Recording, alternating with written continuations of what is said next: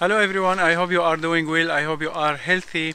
In today's video I am out again and the funny part is that while I am doing this video today, some of you maybe are watching my last video which went online something like 5-10 minutes ago.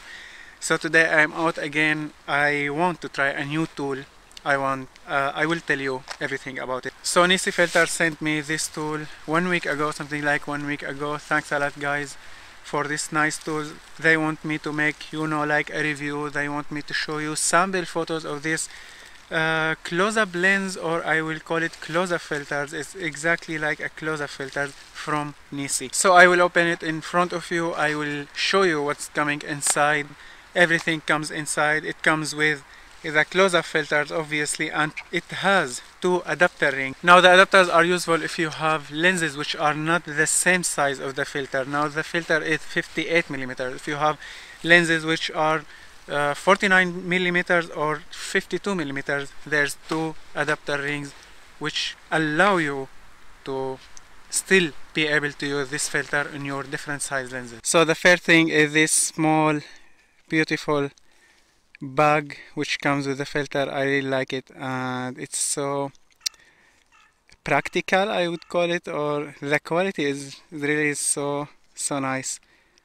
And let me open it in front of you.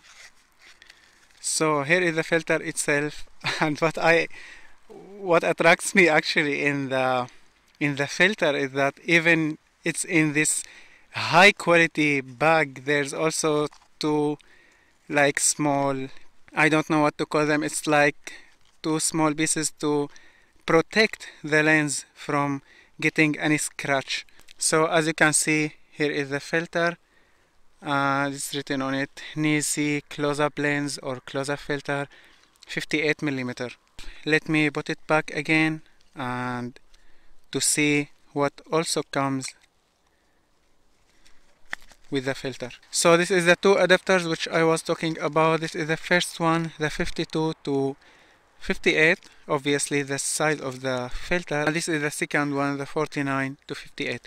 I don't need them because my lens, the size of my lens is exactly the size of the filter. So let's put them back. So here we have also some small informations about the filter some tips for example using a tripod or using a flash diffuser and the best working distance that you can have the best or the sharpest photo using this filter. So as you can see right now I will put the filter easily on my lens and I will not now I will not remove this one just to protect it. I will put it on the filter until I find something or beautiful interesting subject to take photos of. After that I will remove this protection. But I really like it. You don't have to you know you don't have to worry about the filter because you are protecting it. It's exactly like protecting the lens with the cap. So as I said I will use this Nisi close-up filter on my Sigma 7300 millimeter lens. But I will not use this lens on macro mode. I will use it normally like any telephoto lens as it's written in the tips that came with this filter it's more yeah it's more advisable to use this uh, filter with any uh, telephoto lens from 200 millimeters or more or between 100 and 200 millimeters. So I will try to use it at 200 millimeters. So I will try to search for any you know I, I don't think I will be able to see any flowers because we are not in spring and not in summer. But I will try to search for any maybe uh, autumn leaves on the ground with you know a little bit of water drops because last night it was raining. So let's search together and try to use this nice filter. So this is the first small subject I have here. As you can see there's a lot of them. I will try to take a photo of one of these two. I will go with my ISO something like 400 something. I don't ever do with my landscape photography. But because I am making macro photos and as you know in macro photo the depth of field is so shallow you have a very shallow depth of field.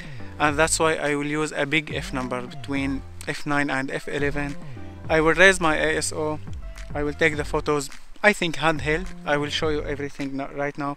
I will write the setting of every photo. And yeah let's see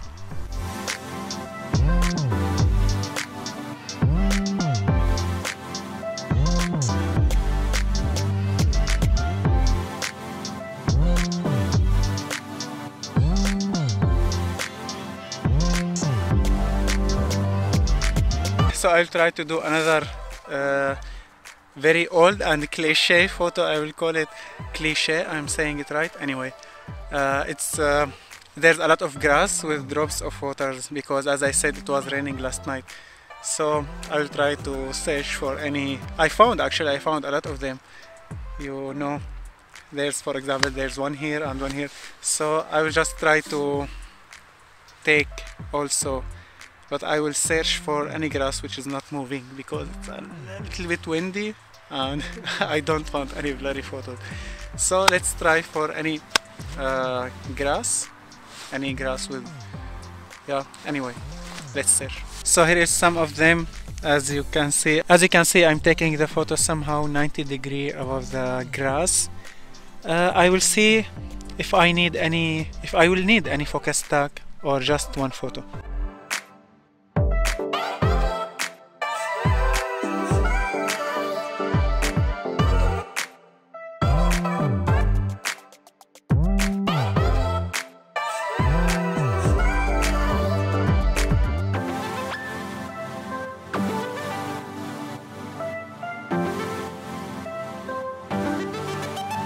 These are all the photos that I made with this small Nisi lens or Nisi close-up filter.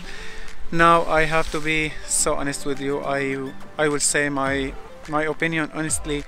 I couldn't have sharp macro photos with using any close-up filter. Always using reverse lens, reverse 50mm lens or reverse 105mm lens gave me the sharpest macro photos I have ever made.